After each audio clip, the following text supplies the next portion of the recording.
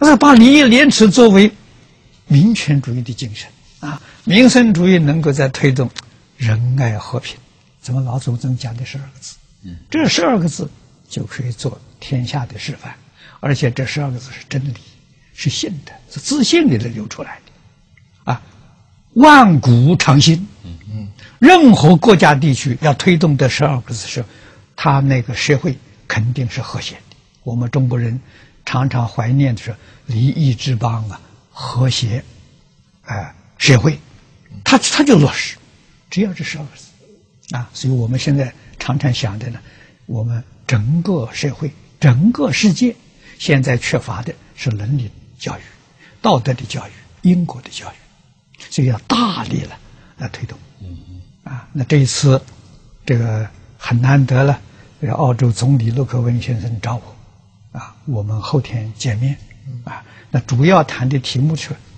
就是在澳洲怎么展开伦理道德因果教育，嗯，啊，那个落实呢，我的建议是让宗教来执行，对，啊，让宗教执行。那么我们这宗教的时候呢，举行一个会议，这个会议筹备一年了，啊，那么就是这个呃，马上就要开了。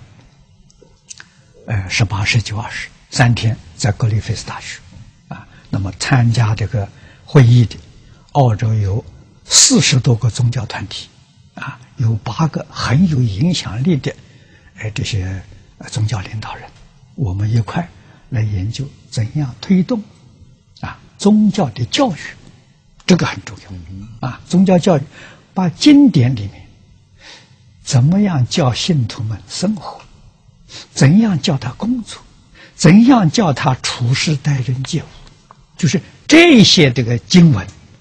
揭露起来，我已经准备了，啊，我已经揭露说，那这个开会的时候，每个人送他一本，